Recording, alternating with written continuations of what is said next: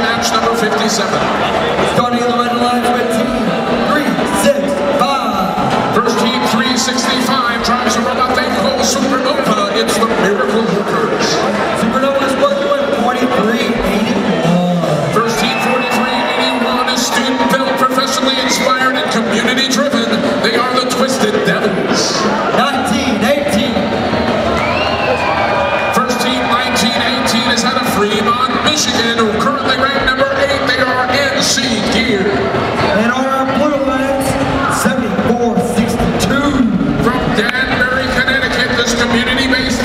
known as the Disruptive Technology.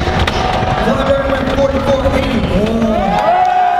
First team the machine called Andromeda, their team Their speed 3542.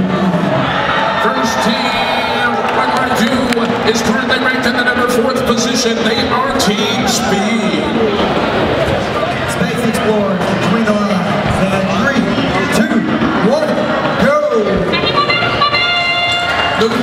as we begin this replay of qualifying match number 57. Less than 10 seconds remain in the sandstorm period. Giant teams are using onboard cameras to navigate during the sandstorm. Sandstorm passes, storm centers are open, drivers have re-established a visual on their machines. Unofficially 32 to 24, your score, Red Alliance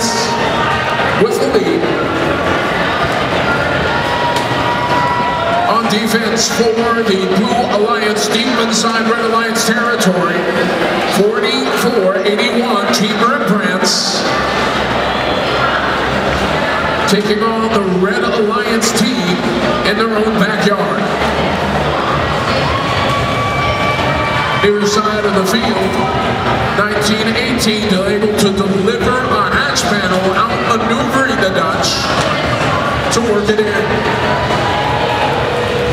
opposite side of the planet, watching as Blue Alliance Team 3542 delivers cargo to the far side, Blue Alliance rocket ship.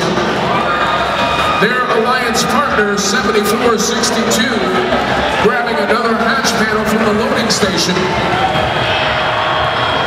They back away, but they back away empty-handed. They utilize their multi-functioning grappling some cargo. They try to load it into the Blue Alliance cargo ship, but it bounces in and off the rim, back out into the terrain. Team Speed delivers cargo now to the Blue Alliance Farside rocket ship. They finish off the task by filling up the rocket, earning an additional bonus ranking point for the Blue Alliance. 25 seconds left. Very, very close. One point separates these two alliances. Red Alliance with a one-point advantage. The Miracle Workers working a miracle as they climb out onto the.